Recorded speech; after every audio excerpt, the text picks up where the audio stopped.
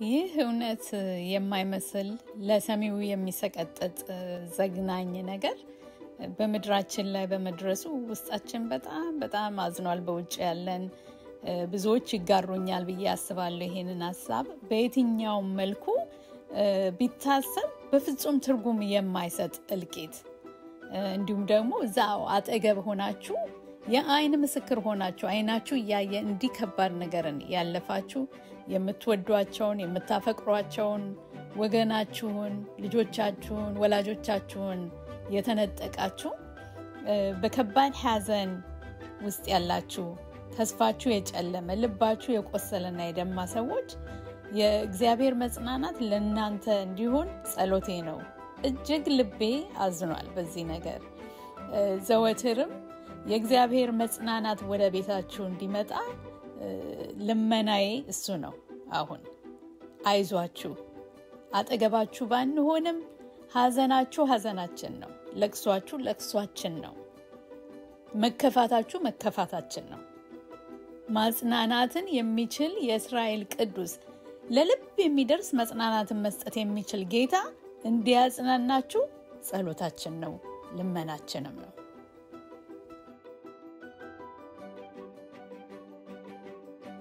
የእግዚአብሔር ሰላም ይብዛላችሁ ወገኖቼ። እግዚአብሔር እንዲህ ያለውን ነገር ይጸየፋል፣ አይወድም፣ ይጠላዋል። ምክንያቱም እግዚአብሔር የሰላም አምላክ ነው። እግዚአብሔር የፍቅር አምላክ ነው። ሰውን ሲሰራ በሀምሳሉ ሰውን ፈጠረ እኩል አድርጎ፣ ማንም ከማንም አይበልጥም። ምድርን ደግሞ ሲሰራ ሰው እንዲኖርበት ምድርን ሰራ። ለምሳሌ ኢትዮጵያ የእግዚአብሔር ናት፣ የማንም አይደለችም። እግዚአብሔር ይችን ምድር እንድንኖርባት ለሁላችንም ሰጠን፣ እንድናለማት፣ እንድንኖርባት፣ እንድንበዛባት እግዚአብሔር ለመልካም ነገር የሰጠንን ነገር እኛ ማበላሸት የለብንም። ምድሪቷ ላይ ደም ሲፈስ እርግማን ይመጣል። ምድሪቷ ፍሬ መስጠት አትችልም። ከዚህ የተነሳ ዛሬ ሰው የራሱን መለኪያ አስቀምጦ አንድ ዘር መኖር ይገባዋል፣ አንድ ዘር መኖር አይገባውም ብሎ የራሱን እርምጃ ወስዶ ሰውን ሲያሳድድ፣ ሰውን ሲያቃጥል፣ ሰውን ሲበድል፣ በሰው ላይ አመፅን ሲያደርግ ሞኝነት ባለው ምርመራና በትውልዶች ተረት በትውልዶች ታሪክ በማይጠቅም ነገር ጠብን በሚያመጣ መለያየትን በሚፈጥር ከንቱ ነገር ልቡን ሞልቶ ይህን ያህል እልቂት እንዲደርስ ንጹሕ ደም እንዲፈስ ምድሪቷ በደም እንድጨቀይ ማድረጉ በጣም የሚዘገንን ከአእምሮ በላይ ከአእምሮ በላይ ነው። እግዚአብሔር ይፈርዳል ወገኖቼ። የአቤል ደም እንደ ጮኸ ወደ እግዚአብሔር የእነዚህ ሰዎች ደም ወደ እግዚአብሔር ይጮዋል። ምክንያቱም በከንቱ ፈሷልና እግዚአብሔር ዓይኖቹ በስፍራ ሁሉ የተገለጡ ናቸው። ደጉንም ክፉንም ያያሉ። በግልጽም ቢሆን በስውር ቢሆን የተገደሉትን ያያል። እግዚአብሔር ልጁን እስከ ማረድ ድረስ የሰውን ልጅ አክብሮታል። እግዚአብሔር ያከበረውን የሰው ልጅ መናቅ የለበትም። እግዚአብሔር በሕይወት ኑር ያለውን የሰው ልጅ ማፍረስ፣ መግደል፣ ማጥፋት የለበትም። ምክንያቱም ዋጋ የተከፈለለት ነው። እያንዳንዱ ሰው በእግዚአብሔር ዘንድ ዋጋው ክቡር ነው፣ ልጁን እስከ ማረድ ስለተከፈለለት። ማንም ሰው የማንንም ነፍስ የማጥፋት መብት የለውም። ወገኖች ምሳሌ 6 16 እስከ 19 ብታዩ እግዚአብሔር የሚጠላቸውን ሰባት ነገሮች ይጽፋል እዛ ላይ እና ከሚጠላቸው ነገሮች አንዱ ትዕቢተኛ ዓይን ነው። ሌላኛው ሐሰተኛ ምላስ፣ እንደገና ንጹሕ ደምን የምታፈስ እጅ እግዚአብሔር ይጠላል። ክፉ ሐሳብን የሚያፈልቅ ልብ እግዚአብሔር ይጠላል። ወደ ክፉ የምትሮጥን እግር ይጠላል። ሐሰትን የሚናገር ሐሰተኛ ምስክር እግዚአብሔር ይጠላል። በወንድማማች መካከል ጠብን የሚዘራ እግዚአብሔር ይጠላል። ወገኖቼ በዘረኝነት በእንደዚህ አይነት አይነት ጥላቻ ውስጥ የገባ ሰው እነዚህ ላይ እዚህ ላይ የተጠቀሱትን በአብዛኛውን ይሞላቸዋል፣ በአብዛኛውን ይተገብራቸዋል። እግዚአብሔር ሰው የንጹሕን ነፍስ እንዲገድል አይፈልግም። እግዚአብሔር የሚጠላው የሚጠየፈው ነገር ነው። የንጹሐን ነፍስ ሰው ሲገድል ሰውን ለመግደል ሰው ጉቦ ሲቀበል የተረገመ ይሁን ነው የሚለው መጽሐፍ ቅዱሱ። እንዲያው እሱ ብቻ አይደለም፣ እንደውም ባልንጀራውን በስውር የሚመታ እርጉም ይሁን ነው የሚለው።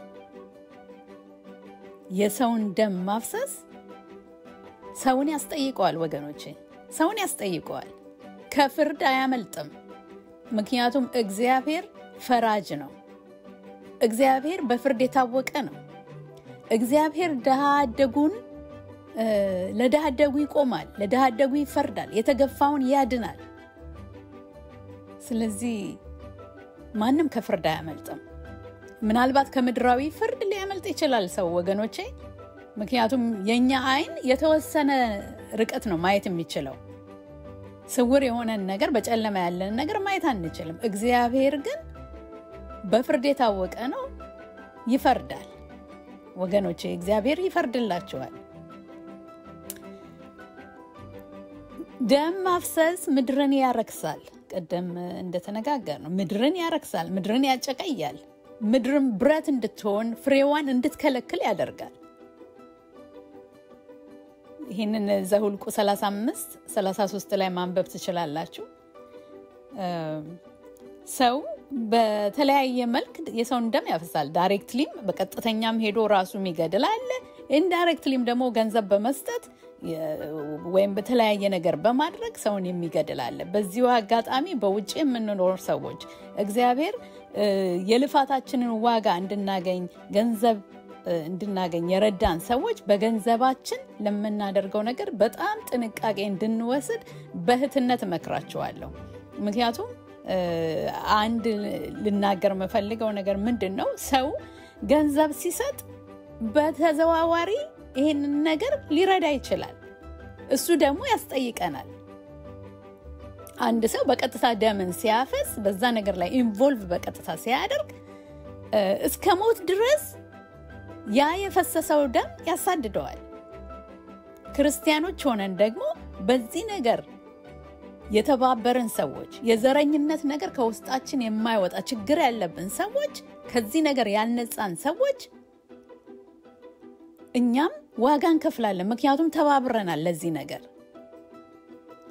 ከዚህ ነገር ያልነጻችሁ የእግዚአብሔርን ስም የምትጠሩ ሰዎች ወደ ልባችሁ እንድትመለሱ በትህትና ጠይቃችኋለሁ። ዘረኝነት ኃጢአት ነው፣ ኃጢአት ነው። በምንም በኩል ልታስተካክሉት ልታሻሽሉት አትችሉም። ዘረኝነት ኃጢአት ነው። ኃጢአት ደግሞ ይቀጣል። እግዚአብሔር ኃጢአተኛውን አያጸድቅም ወገኖቼ፣ አይሆንለትም። እናንተ በገንዘብ ብትረዱ ቀጥታ ነፍስ በማጥፋት ኢንቮልቭ ባታደርጉም ገንዘባችሁ ግን ለኃጢአተኛው ተባብሯል። ከኃጢአተኛው ጋር ተባብሯል ገንዘባችሁ። ኃጢአተኛው ያንን ሰው ሊገድል ሲሄድ ስለት አቀብሏል ገንዘባችሁ። ወንድሙን ሊያርድ ሲሄድ ስለት አቀብሏል። የወንድሙን ቤት ለማቃጠል ሲሄድ እሳት አቀብሏል ገንዘባችሁ። ምን እየሆነን ነው? ስለዚህ እናንተም equally ተጠያቂ ናችሁ፣ involve ስላደረጋችሁ በዚህ ነገር። የእግዚአብሔር ቃል የሰውን ደም የሚያፈስ ሁሉ ደሙ ይፈሳል ይላል ዘጸአት ላይ። ለራሳችሁ ገብታችሁ ማንበብ ትችላላችሁ። 9 16 ላይ ዘፍጥረት ላይ ይቅርታ፣ ዘፍጥረት 9 6 ላይ ብታነቡ የሰውን ደም የሚያፈስ ሁሉ ደሙ ይፈሳል ይላል። እስከ ሞት ድረስ እረፍት የሚነሳው አይደለም። አሁን በዚህ ነገር ላይ involve ያደረጉ የትም ሀገር የትም ጉድጓድ ይግቡ፣ ይሄ ነገር ያሳድዳቸዋል እስከ ሞት ድረስ። ምክንያቱም ይሄ በእግዚአብሔር ዘንድ የተጠላ ነገር ስለሆነ ወገኖቼ፣ ጌታን እናውቃለን የምንል ሰዎች፣ በዘረኝነት ነፍሳችን የታሰረ ሰዎች ፈውስ ያስፈልገናል፣ ደሊቨረንስ ያስፈልገናል። ይሄ ከእግዚአብሔር የፈጠረው ህይወት ክርስቶስ የሞተለት ህይወት እንዲህ አይነት ነገር አይደለም። ሰው የስጋን ስራ ማራመድ ሲጀምር ነው በዘረኝነት ነፍሱ የሚታሰረው። በዘረኝነት የታሰረ ደግሞ የስጋን ስራ ነው የሚያራምደው። ሰው ደግሞ ከስጋው ምንም ነገር የሚያተርፈው ነገር የለም። መበስበስን ነው የሚያጭደው። መበስበስን መበስበስ ምን ጥቅም አለው? ምንም ጥቅም የለውም። መገዳደል መፍትሄ ሆኖ አያውቅም። መቼም ሊሆን መፍትሄ ሊሆን አይችልም። የተጠራ ነው ለዚህ ነገር አይደለም። የሰላም አምባሳደር ልንሆን እግዚአብሔር እያንዳንዳችንን ጠርቶናል። አንድ ጥቅስ ላንብብላችሁ። ይቅርታ አድርጉልኝ፣ እዚህ ጋር እንዴት ትታገሱኛላችሁ? እኛ እያንዳንዳችን የተጠራ ነው የተጠራንለት ህይወት የተጠራንለት ህይወት ለዚህ አይደለም። የሰላም አምባሳደር የእርቅ ሰዎች እንድንሆን የተጠራ ነው። እኛ አገራችን በሰማይ ነውና ከዚያም ደግሞ የሚመጣ መድኃኒት እርሱም ኢየሱስ ክርስቶስን እንጠባበቃለን። አገራችን በሰማይ ነው። በዚህ ምድር በሆነ ነገር ነፍሳችን መያዝ የለባትም እና ለምንሰጠው ገንዘብ፣ ለምንሰጠው ሀሳብ ጥንቃቄ ማድረግ አለብን። ጥንቃቄ ማድረግ አለብን። እንደ ጌታ የሰላም ሰው መሆን አለብን። የፍቅር ሰው መሆን አለብን። የተጠራ ነው ለእርቅ ነው። ሰላም በተፈረሰበት ቦታ ሰላምን ማስፈን የምንችል ሰዎች መሆን አለብን። ለገዛ ወንድሞቻችን እንዲሁም ደግሞ አብረን ለተወለድንበት ሀገር ዜጎች መራራት አለብን። እንደውም መጽሐፍ ቅዱስ እኮ የሚለው ወገኖቼ መጻተኛና ለስደተኛ እንኳን መራራት እንዳለብን ነው አይደለ? እንደሚናገረው የእግዚአብሔር ቃል። ጥላቻ የሚጠቅም አይደለም ወገኖቼ። የእግዚአብሔርም ቃል አይመክረንም። ጥላቻ ቤትን ሰርቶ አያውቅም፣ አገርን ገንብቶ አያውቅም። ለእድገት ጠር ነው፣ እንቅፋት ነው፣ ወደ ኋላ የሚመልሰን በድህነታችን ላይ ወደ ኋላ የሚመልሰን ነው፣ መርገም ነው። ለልጆቻችን ምን እየተውን ነው? መርገም እየተውን እኮ ነው ወገኖቼ። ከእግዚአብሔር ፍርድ ደግሞ አናመልጥም፣ ልናመልጥም አንችልም። እንዲያው በነገራችን ላይ እያንዳንዳችን አሁን ውጭ ያለን ሰዎች ከራሳችን አልፈን ቤተሰቦቻችንን የምንረዳበት ገንዘብ ተከፍሎን ሰርተን ስራ ሰርተን የልፋታችንን ዋጋ ይከፍሉናል አይደል? እንደ እዚህ ያሉት አሜሪካን ቢሆን ጀርመን፣ የተለያየ ሀገር ያለን ሰዎች የሰው ሀገር እኮ ተቀብሎናል ወገኖቼ። ለምንድን ነው አገራችን ያሉትን ሰዎች እረፍት የምንነሳው? የሰው ሀገር ተቀብሎን እኮ ፈቅዶልን እኮ ንብረት አፍርተን ቤት ሰርተን እየኖርን እኮ ነው። የሰው ሀገር ወገኖቼ። ሰው በሀገሩ እንዴት መኖር ያቅተዋል? ሰው በሀገሩ እንዴት አትኑር ይባላል? በጣም መታሰብ ያለበት ነገር ነው ይሄ ነገር እና በተለይ ክርስቲያን ከሆንን የጌታ ነገር ገብቶናል ብለን ካሰብን ይህን አመለካከታችን መለወጥ አለብን ወገኖቼ። deliverance ካስፈለጋችሁ ሂዱ፣ ይጸለይላችሁ፣ deliver ሁኑ ከዚህ ነገር። ፈውስ የሚያስፈልገው ነገር ነው። ቆላሲያስ ሶስትን መመልከት እንችላለን እና እናንተ አንብቡት፣ ሁሉንም ሙሉም ሀሳቡ ብታነቡት እንደውም ስለ ዘረኝነት በጣም የምትማሩበት ነገር ሀሳብ አለ ብዙ። በላይ ያለውን መፈለግ በላይ ያለውን እሹ እያለ አስቡ እያለ ይመክረናል። በዚህ ምድር ያለውን ነገር አይደለም። እንደተነጋገርነው ነው። የስጋ ስራ መበስበስን ነው የሚያሳጭደን። ምንም የሚጠቅመን ነገር የለም። እንግዲህ እኛ ወንጌል ይዘን እናስተምራለን የምንል ሰዎች፣ ወንጌል እናውቃለን፣ ወንጌል ገብቶናል የምንል ሰዎች፣ ህይወታችን በእግዚአብሔር ከክርስቶስ ጋር ተሰውሯል የምንል ሰዎች በላይ ያለውን ማሰብ በላይ ያለውን መፈለግ ያ ሊሆን ይገባል ተግባራችን። ከዘርና ከዘረኝነት ጋር ይሄ እኩይ የሆነ ነገር ከሚያራምድ አጋንንታዊ ከሆነ ነገር ጋር ህብረት ልናደርግ አይገባም ወገኖቼ። ነገ እኮ ጌታ ኢየሱስ ሲመጣ ይሄ ነገር ቦታ የለውም። ለምንድን ነው ከዚች ምድር የማያልፍ ነገር ላይ ሙጭጭ ብለን የምንንጠለጠለው? ምንም አይጠቅመንም። ጎሰኝነት ምንም የሚጠቅም ነገር አይደለም። እኛ ዜጋችን ባለቤትነታችን ከጌታ ጋር ነው። ሌላ ነገር የለንም። ጭራሽ እንደውም ከዘረኝነት ሁሉ አልፎ ይሄን ነፍስ እስከ ማጥፋት ድረስ የማድረስ መጥፎ ታሪክን በዓለም ላይ የሚያጽፍ ነገር ነገር ነው። ይሄ ነገር ሌላ ነገር አይደለም። ስለዚህ እህታዊ ምክሬን እመክራቸዋለሁ። በክርስትና ሕይወት ያለን ሰዎች ቆም ብለን እናስብ። መለየት አለብን ከሌላው። ሌላው እንደውም በመጥፎ መንገድ ቢሆን መክረን መመለስ አለብን። ጭራሽ እኛም በዚህ ነገር ውስጥ የምንረዳ involve የምናደርግ መሆን የለብንም። እንዲህ involve የምናደርግ ከሆነ ተስፋችን በምድር የመኖር ሀሳብ ነው ማለት ነው። ያ ደግሞ አይጠቅምም፣ ደግሞም ውሸትም ነው። አንድ ቀን ሁሉ ነገር የሚያበቃበት ጊዜ አለ ወገኖቼ። በየዋህነት ደግሞ ሳናቅ እንደዚህ ገንዘብ ለመርዳት ብለን የምንሰጥ ሰዎች ቆም ብለን እንድናስብ ወደ ልባችን ተመልሰን ንስሐ በመግባት ከአምላካችን ጋር እንድንታረቅ በጌታ ፍቅር ጠይቃቸዋለሁ። የክፉዎች አጀንዳ ማራመጃ አንሆን። ዓላማችሁን አትሳቱ ወገኖቼ። ደም ከተጠማው ሰይጣን የሰውን ልጅ አንጋግቶ ወደ ሲኦል ሊያስገባ ዕለት ዕለት ያለ እረፍት ለሚተጋው ሰይጣን እጃችሁን አትስጡ። ገንዘባችሁን አትስጡ ወገኖቼ፣ ጊዜያችሁን አትስጡ። ጊዜው አጭር ነው። ጌታ ኢየሱስ ይመጣል፣ ያሳርፈናል። እስከዛው ግን እሱ በሚፈልገን ነገር ላይ መገኘት አለብን።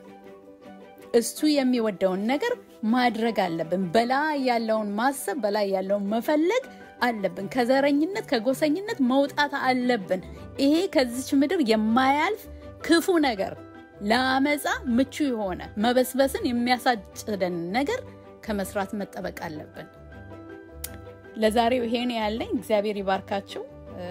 ስላዳመጣችሁኝ አመሰግናለሁ። please share አድርጉት፣ ሌሎችም ይማሩ፣ ይወቁ፣ ከዚህ ክፉ ስራቸው ይመለሱ። እግዚአብሔር ልባቸውን እንዲመልስ እንጸልያለን። እናንተም ጸልዩ። ንስሐ መግባት ያለባችሁ ንስሐ ግቡ፣ ወደ ጌታ ተመለሱ። ወገኖች ይሄ እህታዊ ምክሬ ነው፣ ተጠቀሙበት። ቴንኪዩ ስላዳመጣችሁኝ። ጌታ ይባርካችሁ። ሰላም ቆዩ።